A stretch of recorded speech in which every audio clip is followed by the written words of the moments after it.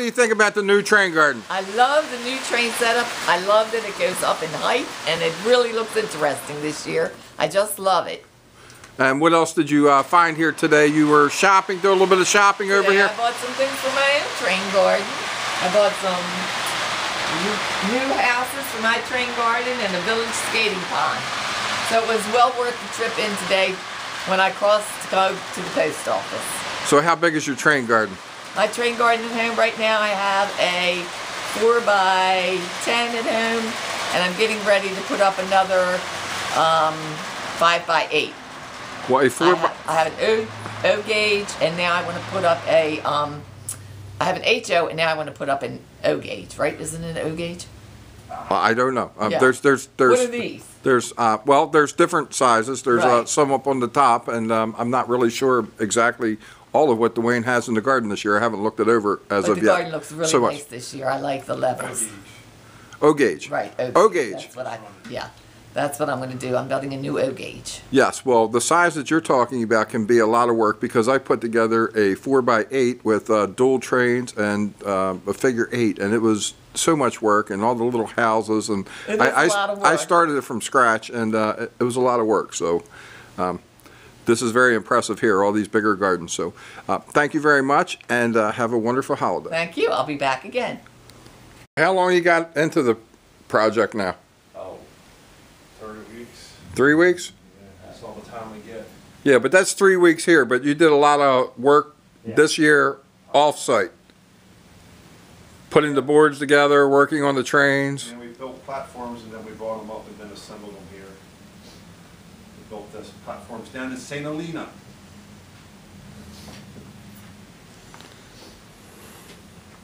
And how much longer do you have to go?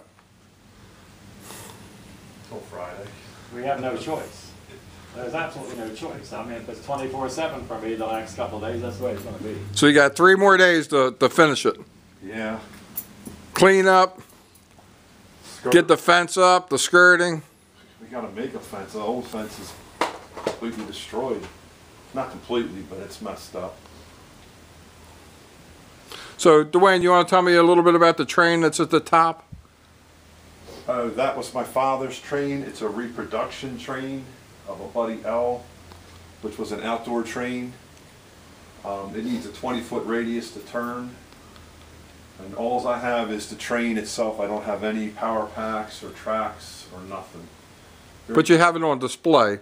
It's just on display because we thought it would be neat to have a giant train that everybody could look at. But that's, that's it. It's a reproduction of a 1920s train from the 1920s.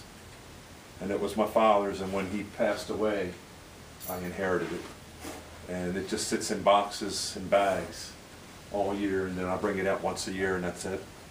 And this year we brought it up here. Well, it looks very nice up there.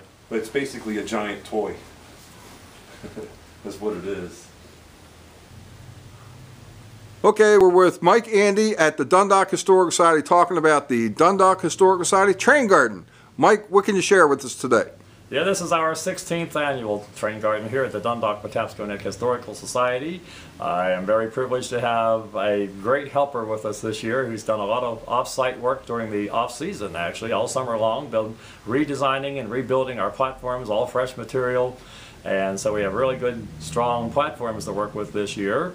And uh, he's been working with the trains, and his name is Dwayne Phillips. He's with the St. Helena uh, Community Association, and he's done a lot of the work over at their facility and has brought the, the finished product for installation right here at the museum.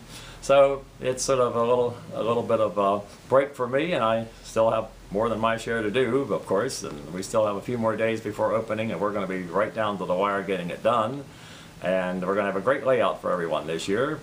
So- and, uh, So let me ask, what is the uh, hours of operation? What is the schedule this year? We are open daily starting Saturday, December 5th, from noon till 8 p.m. And we will be closed Christmas Day. And our opening day is going to be hopefully our biggest day of the season because we got the Dundalk Christmas Parade and all the holiday hoopla, cookie tour, and Santa in the park and all kind of activities to get us started for the year.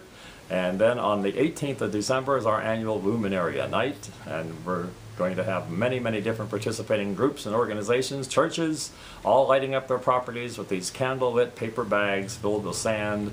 And uh, we're going to have music out here on the plaza in front of our building, and it's just going to be a great time. Santa Claus will be here to visit all, all the little ones. So that is also going to be a, uh, an incredible occasion for us, as it always is every year. And uh, the train garden, of course, is here every single day through the 3rd of January. And Luminary Night does depend on the weather. It definitely depends on the weather. If it snows, of course, we have to call it off. If it's extremely windy, we'll have to call it off. And of course, if it rains, there is a bad weather date, uh, which would be Sunday, then uh, Saturday, I guess, the 19th. Friday is the 18th, which is the original date. And uh, so hopefully we'll get it in on the date that we're scheduled, Friday the 18th.